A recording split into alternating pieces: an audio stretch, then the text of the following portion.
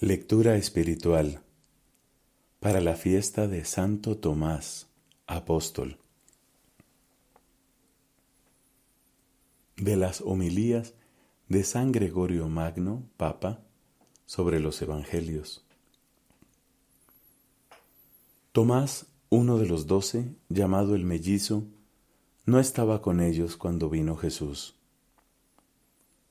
Solo este discípulo estaba ausente y al volver y escuchar lo que había sucedido, no quiso creer lo que le contaban.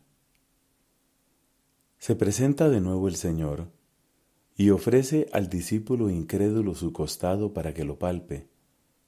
Le muestra sus manos y mostrándole la cicatriz de sus heridas, sana la herida de su incredulidad. ¿Qué es, hermanos muy amados, lo que descubrís en estos hechos.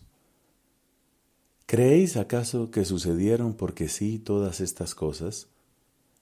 ¿Que aquel discípulo elegido estuviera primero ausente, que luego al venir oyese, que al oír dudase, que al dudar palpase, que al palpar creyese? Todo esto no sucedió porque sí, sino por disposición divina.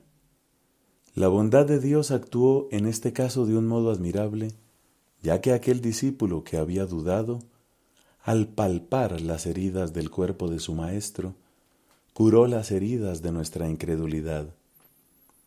Más provechosa fue para nuestra fe la incredulidad de Tomás que la fe de los otros discípulos, ya que, al ser él inducido a creer por el hecho de haber palpado, nuestra mente, libre de toda duda, es confirmada en la fe.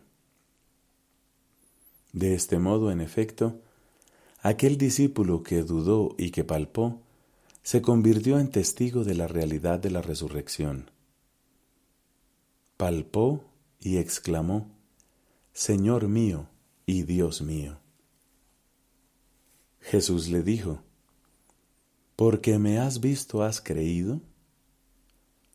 Como sea que el apóstol Pablo dice, la fe es seguridad de lo que se espera y prueba de lo que no se ve, es evidente que la fe es la plena convicción de aquellas realidades que no podemos ver, porque las que vemos ya no son objeto de fe, sino de conocimiento.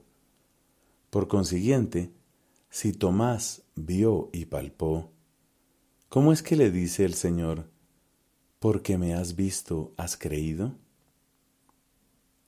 Pero es que lo que creyó superaba a lo que vio. En efecto, un hombre mortal no puede ver la divinidad. Por esto, lo que él vio fue la humanidad de Jesús, pero confesó su divinidad al decir, Señor mío y Dios mío. Él, pues, creyó, con todo y que vio, ya que, teniendo ante sus ojos a un hombre verdadero, lo proclamó Dios, cosa que escapaba a su mirada. Y es para nosotros motivo de alegría lo que sigue a continuación.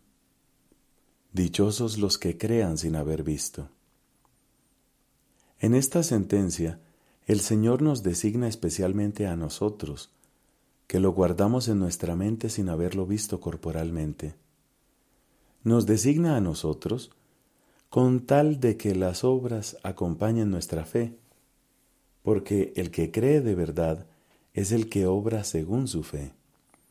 Por el contrario, respecto de aquellos que creen solo de palabra, dice Pablo, hacen profesión de conocer a Dios, pero con sus acciones lo desmienten.